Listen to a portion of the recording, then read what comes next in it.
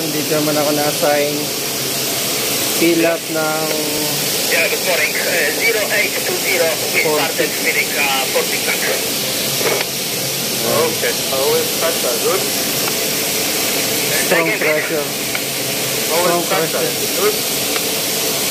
Yeah, looks okay. Uh, after one or two hours, we take measurement. Uh, we will find out how Ayan, malapit na mapuno ang portik. Mamaya, patayin ko lang dito sa binigay nilang control. Ayan. Then, tawagin ko si Kamote. Ayan, malapit na mapuno. Portik.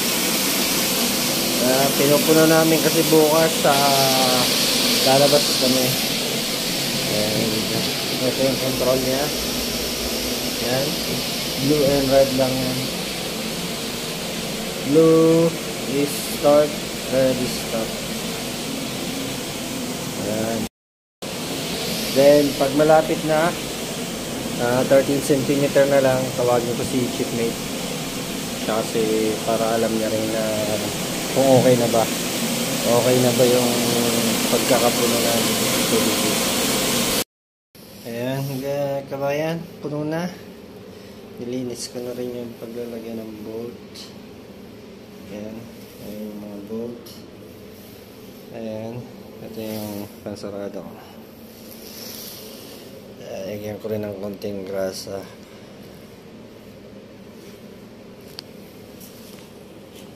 Yeah, ready for closing. For pick.